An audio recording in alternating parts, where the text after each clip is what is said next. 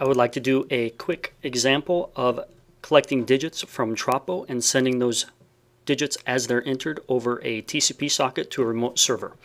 I've written a simple server here using EventMachine, which is a Ruby library that will go ahead and receive data on the socket and simply print that out to the console. Nothing fancy, we just want to see right now that it's coming across. The client side, which is the Tropo script, will open a new socket to that server. It will set a series of options, 1 through 9 plus 0. It'll answer and then say hello.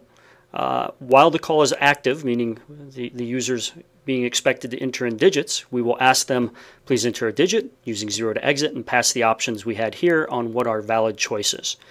If the uh, value is 0, because they've hit 0 to exit, it will go to say thank you, goodbye, close the client, and hang up. Otherwise, if they've entered one of the valid digits 1 through 9, we will write to the socket the value of that and repeat back exactly what they entered. So what we should see on the socket side here is the uh, remote server running the server code that we saw up here.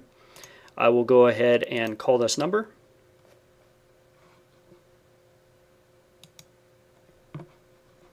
And welcome to the digit collector. Please enter a digit using 0 to exit. You may say here it's actually connected to the server. I'll hit 1.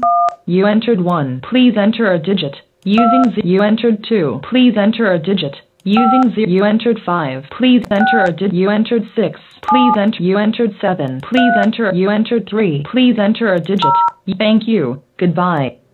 Now you may actually see we've hung up the call, terminated the session. That socket then disconnects. Let me get rid of this for now.